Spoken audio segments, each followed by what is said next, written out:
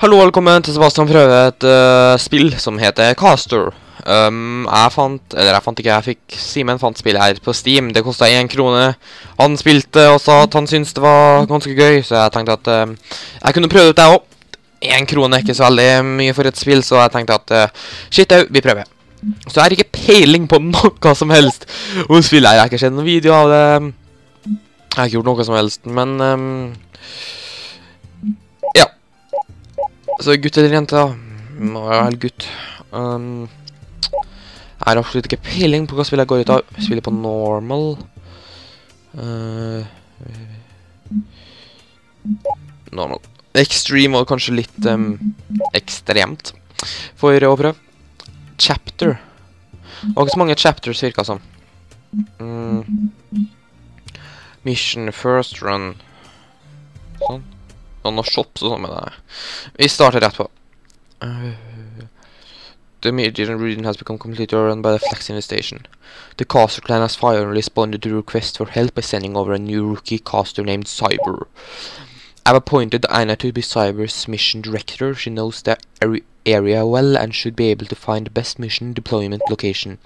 I imagine that experienced casters are hard to come by nowadays. However, I fear our situation is far more than this young caster will, will be able to handle. Så det virker som vi er på noe sånn fremmed planetgreie, og det er noe sånn insektsinversjon og sånt. Den grafikken, da. Se her. Se på den høykvalitetsgrafikken. Ok, hun der skal lære meg Det er sånn tutorial, da. Just routine training exercise. You are uh, Ok. Så jeg springer. Kameraet er litt funky. Det er en slags skyteting. Oi, det var sånn sprinteting. Og så hoppeting, og så uh, Ord! Ok. Er enemies, liksom. Skal jeg skyte? Død enemy.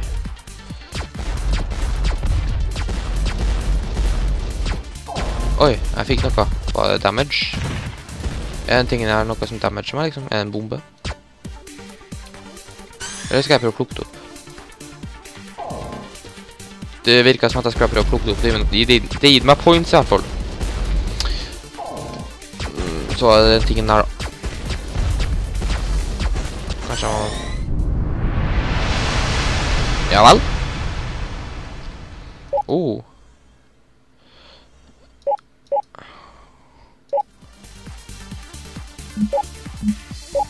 Ok. Um, har dere gjort det? Uh,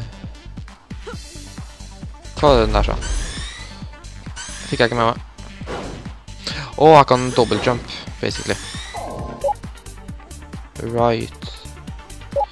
Så kan å spille en controller tydeligvis da. Dash that direction. For en kontroll! Må si det er beste kontrollen jeg har sett. Vil jeg spamme dobbelt, liksom. Der var det masse spørsmålstegn som jeg ikke har tenkt å bry meg om i det hele tatt. ja, første oppdrag. Å, vi kan yeah, oppgradere ting og sånn. Dash. Superjump. Blast. Oppgradere angrepet mitt. Angrep er alltid kjekt, da. Forferdelig hit, da. Wet Wasteland. Han der var litt snodig. Jeg vet ikke hvor lenge jeg kommer til å spille med her, om jeg kommer til å lage flere episoder, eller om det bare blir den her, eller Jeg får se hva dere syns. Så hvis dere er interessert i å se mer av det her, så kan jeg sikkert spille det. Jeg vet ikke. Jeg kan ikke si om jeg likte spillet her eller noe sånt. Jeg er jo så vidt begynt å prøve det. Så jeg skal, skal prøve å plukke opp alle disse kulene, da. Mens at jeg også dreper alle disse aliensen. Um, ikke sant? Sånn, ja. Og dem får jeg penger for som jeg sikkert kan oppgradere abilities videre og sånn. Og jeg kan skyte mens jeg er under vann. Yay, han droppa penger. Og stuff. Jeg bare springer til disse kulene, så... Den stamina-tingen der, det synes jeg brukes opp relativt kjapt. Oi, hva er du? Oi, what? Tre ble gigantisk. Men jeg hopper ikke ned i vatten her uten å ha drept den her, altså. Siden at jeg liker Jeg er ikke veldig glad i sånne vannmonster-ting og sånn. De eh, skremmer meg litt. Hvis dere har sett Stranded Deep-serien min, så vet dere sikkert hva jeg mener. Yay. Nå skal bare plukke opp enda en kule. Bada bim, bada bom. Hva er det der? Må si at det var ganske kreativt enemy design, da. Kan du si bom bom? Så kan jeg gå og plukke opp den her hans.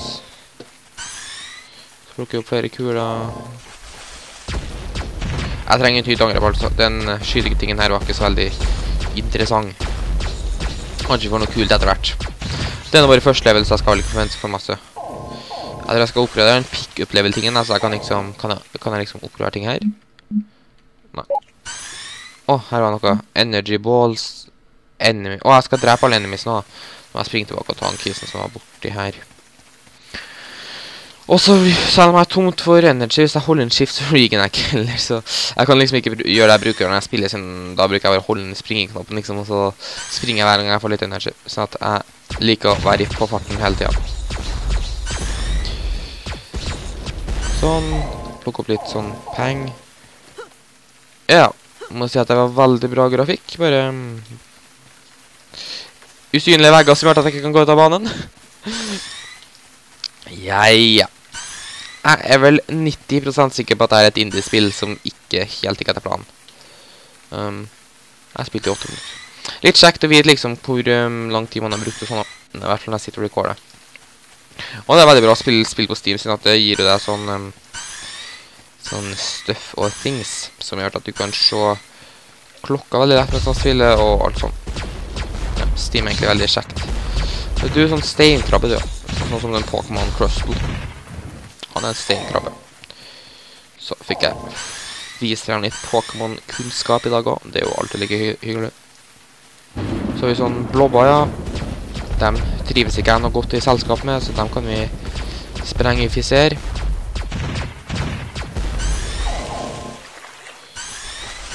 Sånn, skal jeg bare springe over og ta enemisen der, og så tar vi den siste kula, og så kommer jeg oss vekk fra høre... eh, planetsituasjonen-tingen vi er på nå. Det var egentlig ganske grei sånn Stor tre. Oi, rød kule. Så hvis vi skyter trær, så blir svære, eller noe sånt. Er det sånn det funker? Ja. Og da dropper jeg XP for det også. Eller ikke XP. Mm, sånn annen ting. Sånn pengeting. Sånn annen ting. Så egentlig kan jeg bare ferdig ut å skyte alle trær. Men jeg fikk egentlig ikke så mye sånn uh, penger for det. Så um, jeg tror ikke jeg gidder å grinde akkurat. Skyte det Hvor mye penger? Hvor mye ekstra for det? Jeg får ti, liksom. Det er jo ingenting. Så vi satser heller på og de svære tingene som vi skal faktisk plukke opp. Den lyden er egentlig veldig irriterende. Og jeg kan hoppe. Da hadde jeg glemt det. Oi. Oi. Der er den siste tingen, ja. Jeg lurer på om den bør raskere hoppe. Vi fer jo liksom ganske langt og fort. Oi. Vi hopper rundt omkring. Sånn, og så skal vi til mål. Føler den gigantiske blinkende pila. Lurer på hvordan man kommer på idé at sånne der spill liksom er sånn um, Hm, jeg har lyst lage et spill. Hva skal spillet handle om? En blå fyr som springer rundt på bittesmå planeter og skyter insekt. Ja, ja. Drømmespillet å lage, liksom. Yay. Jeg tok ikke damage engang. Yay, high score. Fikk litt sånn penger. Mm. Å, se. Abilitiesen her ser jo litt kult. Kult ut. Jeg tror kanskje jeg skulle ha plukket opp noe i en tutorial, men um, fant ikke ut hva som gjør det, så det ble ikke noe av. Uh, så kan jeg... Sånn. Ok. Men, gidder ikke å springe tilbake til Tortorialen, nå gjør vi det. Uh, wow, folk kan liksom lage sine egne oppdrag og sånn. The Pits, The Beaten Path. Å, han der var litt gull da. Håper vi skal slåss mot han. Er sånn labyrintgreie, så jeg tror ikke jeg er up with that. Uh, flanks, hva er flanks? Oi, oi, nå hadde jeg jo faktisk masse sånn energi. Var veldig masse brak. Hvordan skal jeg gå og dive? Kanskje jeg må slåss mot folk først, siden det er ikke noe mapper, så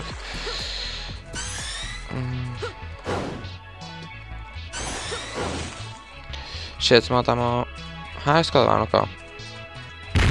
Wow. Wow. Den var ikke så veldig vanskelig å ta vekk. Jeg er egentlig alltid foretrukket sånn maskinvær og sånn i spill. Liksom over sånn hagl og sånn. Sånn, ja. Å, var det gul? Det er, det er så...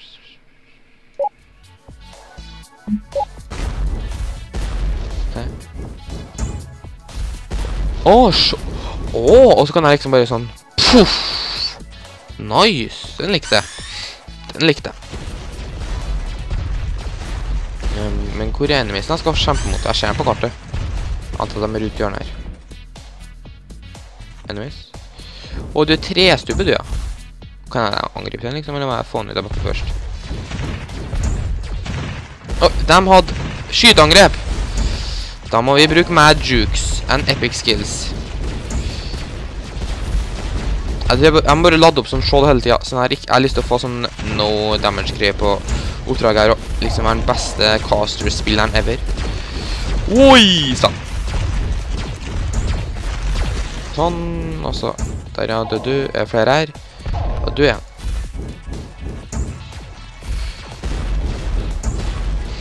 Så. Det var egentlig sånn Å nei, jeg tok damage! Eh, hvordan får jeg tilbake livet mitt, da? Hvordan får jeg Hvordan skal jeg hoppe opp her, liksom? What? Der kan jeg skyte, ikke sant? Og så får jeg Å, oh, det var livet, ja. Ah, nå skjønner jeg litt. Nå skjønner jeg litt. Mint meg Oi sann. Mint meg egentlig litt sånn Zelda-spill her. Sånn at jeg har liksom Ocarina of Time Dungeons og sånn.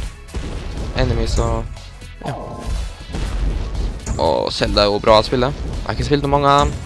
Ikke Zelda var liksom ikke sånn en del av spillene jeg spilte når jeg var barn. Jeg har heller spilt dem liksom senere tid nå, for at jeg har hørt så mye bra om dem. Så. Men jeg likte den angrepet her, jeg. Det var sånn uh, charge opp og Skyt! Det har jeg alltid likt. Nå, sier jeg liksom at jeg har likt alle våpnene noensinne, men jeg liker våpen. Våpen er kul.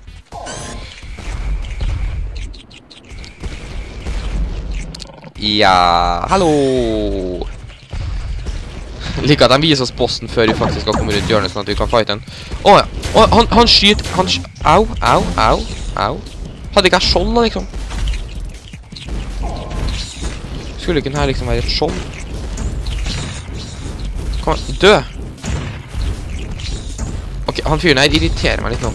Jeg tror jeg må bytte bak et angrepet der. Sånn. Sånn. Maskinen her. Uh, dø. Whee! Vet du hva? Vi skal være menn, og så... Au! Er sånn... Homing missiles, liksom. Kom igjen, boss. Jeg elsker bosser! Men du, var ikke akkurat noen stor favoritt. Jeg plukker opp den her også. Yay! Jeg klarte det. Ho-ho. Jeg fant bare en av... Uh, ups. Ups. Oppgrader ting nå. Shield. Uh, nei. Dash. Move faster runner for... Jeg kunne ha datt ned i vannet så jeg ikke har dasha. Tror jeg. Nei, kunne jeg kanskje ikke. Mm. Vi fikk nettopp Orbit, så kan vi oppgradere den. Siden den var kul. Lekebåtom til pits. Vi har fortsatt ikke tatt til pits. Sånne der liker jeg ikke. De minner meg om sånn... Um, oh, sånne bilder, hvis dere noen liksom latt dem kravle opp på hendene, og så liksom har de sånn borer i føttene som liksom setter seg fast. Øh. Jeg må heale et tre. Hvordan skal, hvordan skal jeg heale et... Oi, jeg var rask. Hvorfor er jeg så rask? Au, au, au. Au. Hvor, hvor, hvor er skapningen? Au. De her var jo damage. De her var damage. Jeg må opp i løfta. Vet du hva, jeg tar den der og springer. Kan jeg få lov til å springe? Jeg har ikke lyst til å være noe mer. Nei vel, sitt fast. Da bytter vi til orbitingen. Siden den var kul. Og så damager vi. Kom igjen, kom igjen. Hvor er den, da? De her var tricky. Ja, vi ikke man ta en boss som ligner på den her, altså, siden at... Ok, så hver gang jeg tar damage på han, så har han tenkt å stikke av.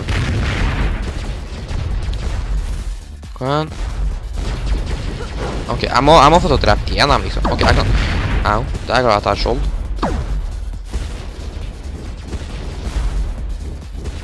Eh, sånn, og så må vi kjøpe... Vet du hva?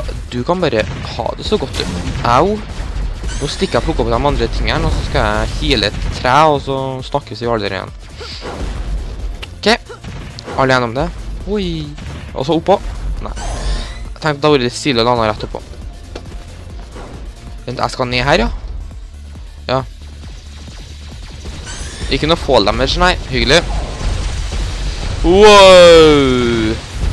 Kom deg fra meg. Skyteangrep ting. Hvor skal jeg liksom heale et... Hvor skal jeg heale en busk? Hvordan healer man en busk? Si meg en hjelp meg. Um, skyt. Jeg prøver bare å drepe dere sniperhelikoptertingen som flyger etter meg. Sånn, ja. Og så kan jeg heale tre, ikke sant? La meg heale tre. Skal, jeg- skyte? Å, ja, men skyt jo trærne. Ah. Ah. Ah. Caster klarer det igjen. Good work. Ja, mistet en energy ball, men det er ikke så farlig. Det er ikke så farlig. Eh, den er sjekka. Og den er sjekka. Sånn.